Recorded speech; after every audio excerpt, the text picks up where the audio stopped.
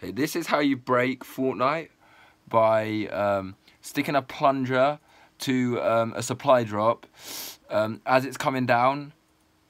Um, and you basically like glitch the game and you can see through the map to an extent and it makes your controller vibrate a lot and um, the game just keeps zooming in zooming out because the plunge it thinks you're plunging stuff but I've run out of plunger like mobobs so yeah.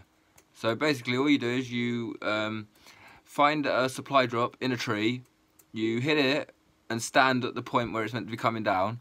When it hits your head you crouch and then plunge the bottom of the crate and this happens. So yeah. This is how to break Fortnite